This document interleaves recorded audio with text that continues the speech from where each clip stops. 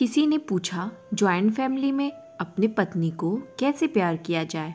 मैंने कहा, बहुत आसान है। ज़रूरी नहीं, हमेशा खर्च करके ही प्यार जताया जाए या घर वालों से छुपाकर महँगे कपड़े, सोना, चांदी दिलाया जाए तो ही प्यार जताया जाएगा। प्यार जताने के और भी तरीके हैं, जिसे हम सोचते ही नहीं और जो बहुत ही सरल है। फ़र्स्ट बहुत भूख लगी हो और खाने में देरी हो रही हो तो अपनी ज़ुबान को कंट्रोल में रखें। यह भी आपने प्यार जताया। सेकंड, जब आपकी माँ या आपकी बहन आपसे आपकी पत्नी पत्नी की बार बार शिकायत करती हैं तो उनकी बातों को सुने ज़रूर, लेकिन पत्नी पर ज़ोर ज़ोर से चिल्लाने या ताने मारने की बजाय उसे अकेले में ले जाकर उसका अपना पक्ष रखने दें। यदि उसकी गलती है तो उसे प्यार से समझाएँ, याद रखें। यदि आप प्यार से समझाओगे तो वो आपकी पत्नी आपकी बात ज़रूर सुनेगी।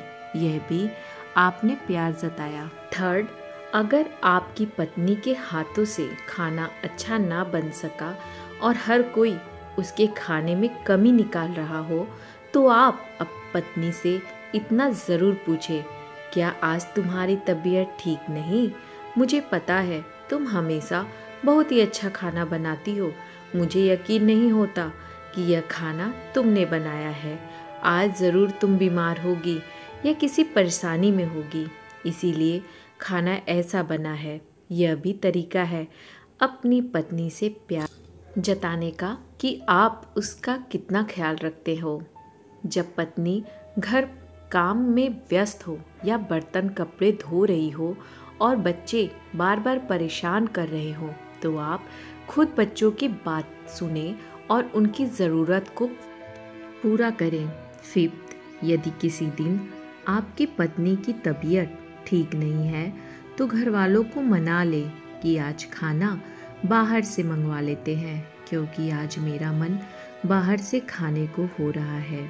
यह भी आपने अपनी पत्नी से प्यार जताया।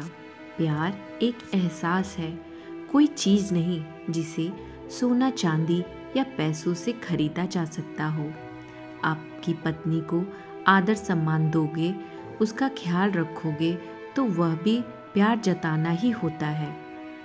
Thank you so much.